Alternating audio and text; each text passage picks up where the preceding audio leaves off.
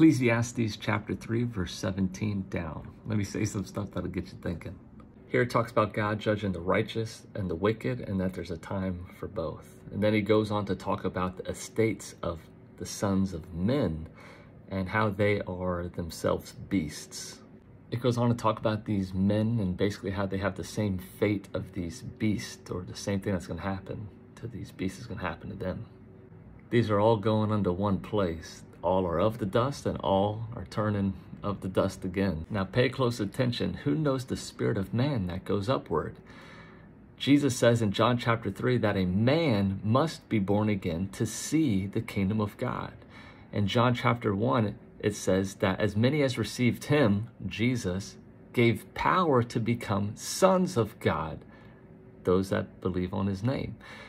And it says, born not of blood, nor of the will of man, nor of the will of the flesh, but of God. And when a person's born again, they're considered a son of God through Jesus Christ. Old things passed away, all things become new. They're considered a new creature in Christ. They're considered a new man in Christ.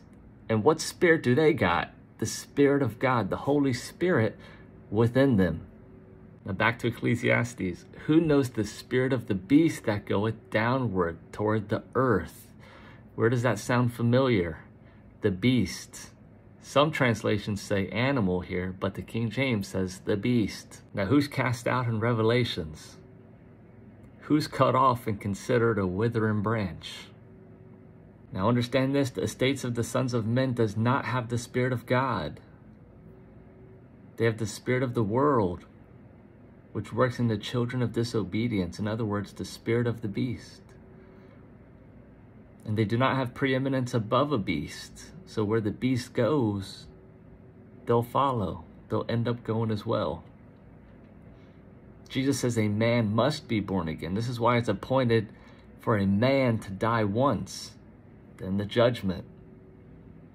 But those who are born again have already died, and they are risen in Christ, Jesus, a new man. You must be born again.